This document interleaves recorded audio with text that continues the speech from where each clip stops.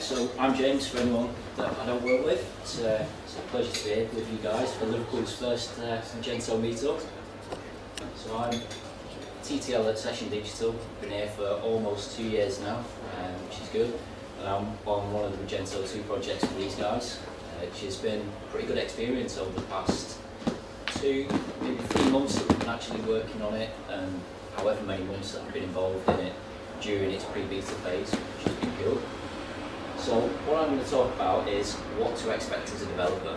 Al did a great job of talking about what to expect as a business person, what's coming in Magento 2. But what does it mean for us developer folks? How much are we going to have to relearn? What's new? What's the same? What do, uh, what do we need to really do? So the most important thing is to look at what's changed since Magento 1. So Magento 1 is nearly eight years old. When it was born, I was still young. I still pretend I'm young, but um, I'm getting older every year, as my wife says. So the biggest thing that changed since Magento, uh, Magento 1 came out, is PHP. PHP's gone through so many iterations since, and it's impacted how the architecture, architecture and how we look at Magento. So if we look at what's changed in that time frame, in 2012 we got Composer that came out to us. It wasn't available in Magento 1.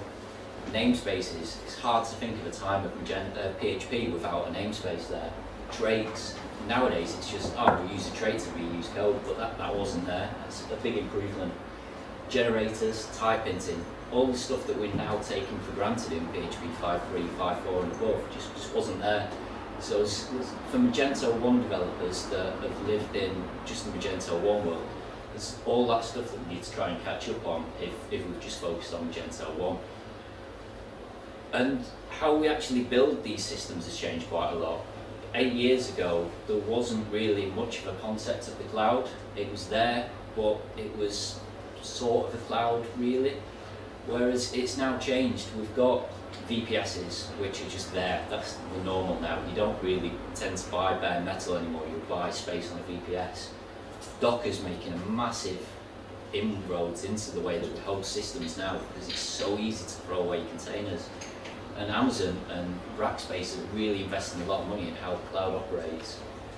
TDD, with how we actually build systems, it was around when Magento 1 came, but it was not in a mature state that we can call TDD. PHP unit was, was there, but it was really hard to use. We were still trying to play catch up in the PHP world with Java, .NET, systems like that. BDD was, was still a pipe dream that didn't really exist um, in that time. And DDD was, it was probably in Eric Evans' head, but nobody really understood it by him. I don't think anyone still does. And getting back to Magento, so eight years ago, and even up to now, with how we installed Magento 1 was, was pretty archaic really. So to deploy Magento 1 solution, it was a monolith. You took the code, you put it somewhere else. There was no way of composing it. It was, these are my files that make Magento run. Let's take them and put them there. Install the GUI, do whatever we need to do, but that was it. It was Magento or nothing. Um, and it worked. But now we've got Composer. So for anybody that doesn't know, Composer is a way of managing PHP packages. It's a command line tool that can deal with packages that we want. We can say Composer grab us this library, or we can use Composer to say, get me this package, but I only want this version, or I want this range of versions.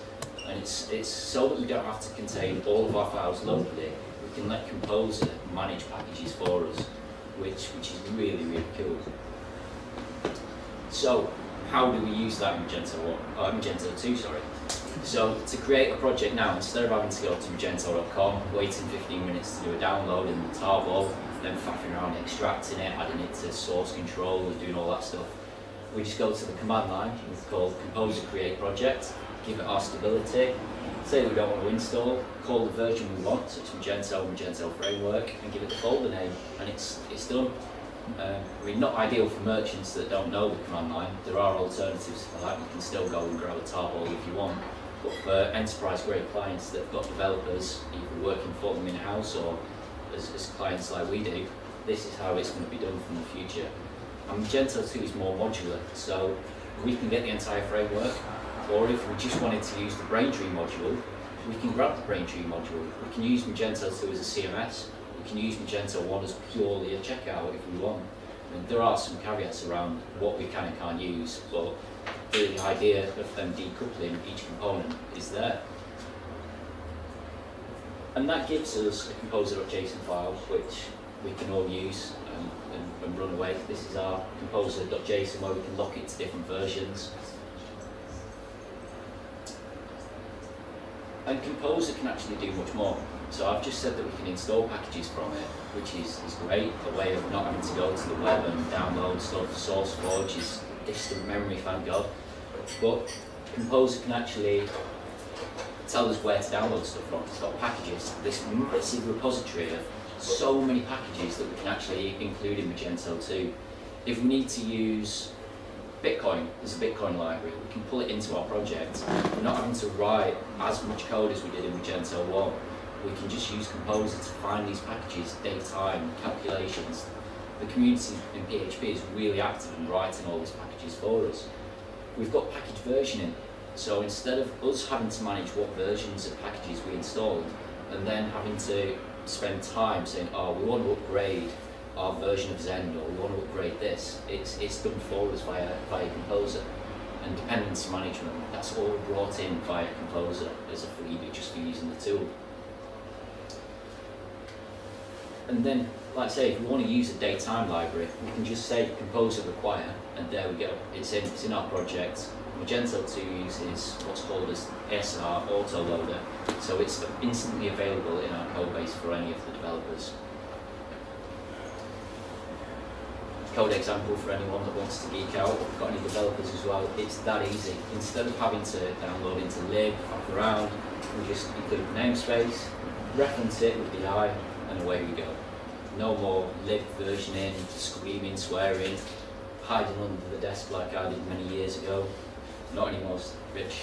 Don't worry, I'm not wasting time. but uh, well, that's all we need to do. And like I say, versioning in Composer is massive. So we can say that we want exact versions. So if, like, imagine this for external packages, but also packages that we build internally. So I know a lot of clients and merchants build their own individual frameworks. They can still actively develop, but we can say we only want that stable version while the team go away and build it. We can say we want these versions, or we can say we actually want a range of versions. We can say we want between one and two, which is really good. It's a really powerful way of working with versioning. It's a way of PHP catching up with the enterprise grade level of what we need to do. We can do wildcards. We can say anything one dot, two dot, three dot, just a way of versioning software. And we can say next significant releases. So if we want to not be on the bleeding edge, we can say give me something that is really stable. And this all really depends on if we use what's called semantic version or SemVer, where we use a major version, a minor version, and a patch version. Magento 2's adopted this a lot recently. They never used to, it was just we'll give you release candidate X, Y, and Z.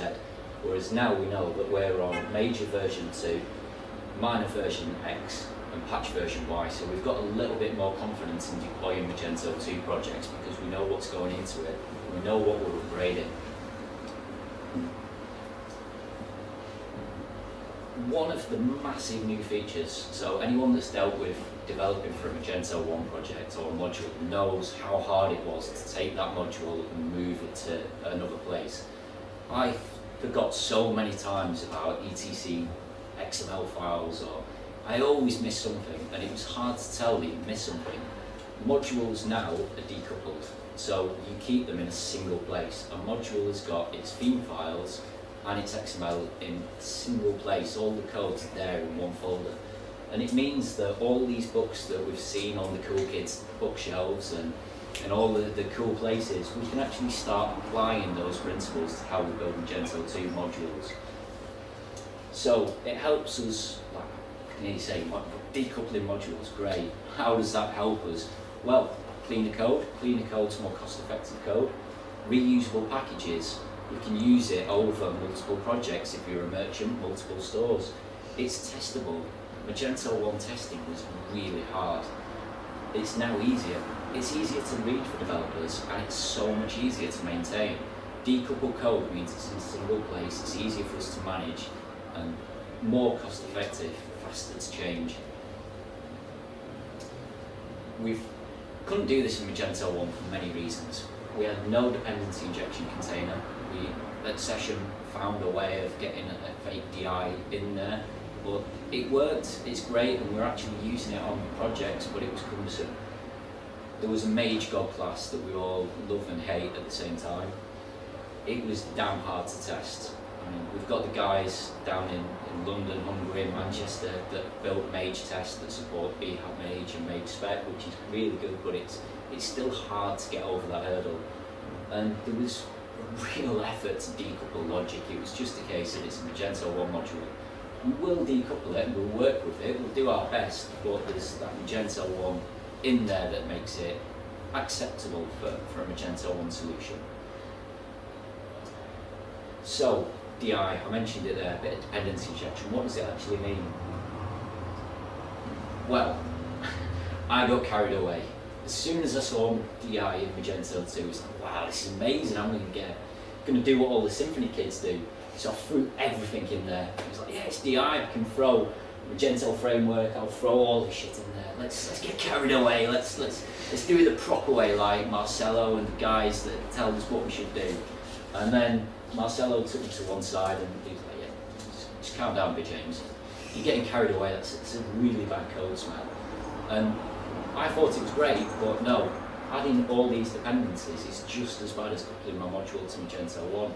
It's, uh, it's, it's far from ideal. But because we've got DI, we can spot that now. It's a way of us telling what, what we're actually injecting. And it replaces the Mage God class, so we don't have to rely on Mage singleton all the time. We can actually call our dependencies that we've injected in. Uh, we can overuse dependencies. I did it. Many people have done it before, and many people are still going to do it unless we, we educate them with, training, blog posts, and uh, pair programming. But it enables composition. Magento 1 was all about inheritance. And as we're slowly learning favour composition over inheritance. A little example of what it looks like for DI. Um, if anyone's seen Magento 1 code, it's always mage, colon, colon, whatever, which is, trust me, it's bad. Whereas now we can just call the instances and the class is responsible for having the instance injected into it, which is, is good. Um, and there you can see we're calling the, the new class that we want to call. use it, use the class as we need it. And it helps us in code-wise with responsibility. Each class is like a person really. Each should have the responsibility to do one thing. And maybe more than one thing as a person, but we should be trying to do one thing well at a time and then, then moving on. And it can help us like swap out the concrete implementation. One of the big things that we hear all the time is we use MySQL as our database. Let's try and code in such a way that maybe we can move to Mongo, maybe in the future that's going to be a feasible option. With cache backends, let's code to interfaces so that we can use Redis or we can swap over to Memcache. It should be an infrastructure decision, not a code decision. We shouldn't need to spend time coding just to change out what hardware we're using behind the scenes. And for testing, it helps us mock dependencies, which makes unit testing possible. But back to Magento 2. This is how DI looks in Magento 2. So we still have to pass the parameters over just because it uses reflection to work out what classes are required. But we pass it by the constructor so that when it generates the container, it knows what dependencies to inject. And what is actually crazy but is really cool at the same time is it's not only objects that we can inject in. So Symfony, as far as I'm aware, can only accept objects as arguments that can be passed into the, the DI container. In Magento 2, we can actually inject strings, variables, extension names, whatever we want really. So this is an array that we're injecting in, which is pretty cool for when we're setting up configuration variables, accessing the admin. We can say inject this, or we can swap out, we can change it, we can mock what values are actually going in there, which is still crazy, but, but pretty good. It's, it's, it's there for what Magento 2 needs, and it makes life so much easier. And then we can see what we're expecting, our extensions, which is just an array of XML. And the way that we call it is just via PHP because they get injected in as a, an array. We just call it and use it in PHP as we would as if it was an object. And we can just check what types are allowed. Magento 2 Core uses that quite a lot. And it means that we can have separate instances of objects. We're taking the responsibility of creating the class away from the class that's using it, which is, is what we should be doing as developers. Should make sure that instantiation is part of the object that needs to call it. Far easier to test and separation of concerns, which is just makes cleaner code. You know that class does A, not A, B, C, D, E, F, and G. Getting on to testing. So I've talked about, talked about all the benefits of dependency injection and said that yeah, it makes testing easier, but how does it make testing easier? We know that we should be testing all things. PHP has been a little bit behind on how .NET, Java guys um, have been tested, but we're catching up. We've got PHP Unit, PHP Spec, Codeception, Behat, a raft of tools now that make testing easier. And Magento 2 enables and actually teaches us that we should be testing. Magento 2 comes with integration tests, 100% code coverage unit tests. Take that for what it is, but it's it's there, and we should be doing the same. So PHP spec now works fantastically well with Magento 2. All we need to do, instead of having to have mage spec, we're still going to need mage spec to manage some of the dependencies and the actual code generation that mage spec does. But now we can just say, in a Magento 2 application, I want this to be a double, which is a mock, of this. And that, that's a test for an actual piece of Magento 2 code. It's that easy to actually write it. And the benefits are now of the entire Magento 2 eco ecosystem is that Composer can help us create packages. We can reuse what community members have built. We're not limited to just the Magento community, we've now got the PHP community as a whole. Dependency injection or DI is, is a must. We cannot use it in Magento 1. People have built ways of, of uh, taking a Magento 1 module, using an automated tool and bringing it over to Magento 2 but it comes with a lot of baggage. We should be embracing dependency injection. We need to be careful how to use it. Don't fall into the same trap as I did and include the entire Magento framework, because it'll be slow, it'll be silly, and you'll get laughed at. Testing, we should now really test our, our code. If we're working for enterprise clients and we're not testing it, we're being a little bit irresponsible as developers. So it's easier for us to test. Let's embrace it and do it and decouple our modules. Yes, it's easier to share the code with between projects. Yes, it's easier to share it between sites. But let's make sure it's easier to decouple from frameworks so that if we do decide that we're a merchant and we want to use um, Magento for our shop, but for our back house system we use Symfony. let's build a library that works between the two systems and not treat them as two separate systems. And then use service contracts. I've not really touched upon it much, but service contracts in Magento 2 are interfaces. So we can actually use design by contract or design by interfaces to, to code, which is, for anyone that knows, a really great way of moving forward.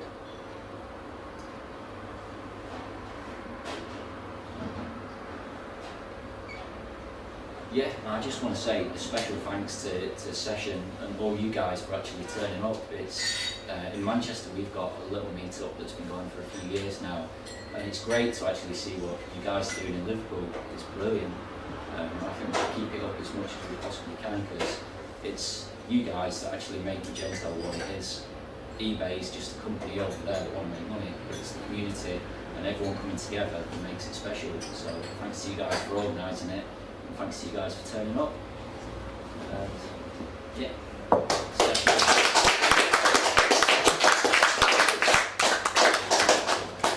going to quickly run to the bar before any questions.